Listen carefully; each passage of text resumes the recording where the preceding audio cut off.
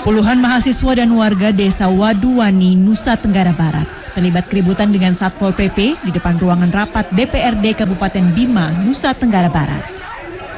Keributan terjadi ketika masa berusaha merangsek ke dalam ruangan rapat DPRD Kabupaten Bima menemui anggota dewan. Masa dihalangi Satpol PP dan polisi. Tidak hanya itu, Sekretaris DPRD Kabupaten Bima yang datang untuk menenangkan masa yang mengamuk menjadi sasaran amukan. Nyaris terjadi adu jotos mahasiswa dengan sekretaris dewan.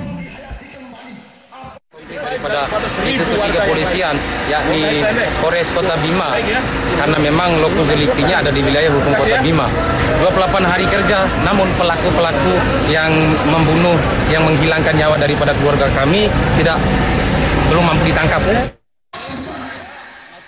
Mahasiswa dan warga desa Waduwani menuntut DPRD Kabupaten Bima mendesak kepolisian agar keempat pelaku pembunuhan mahasiswa sekolah tinggi ilmu hukum Bima yang telah diketahui identitasnya segera ditangkap.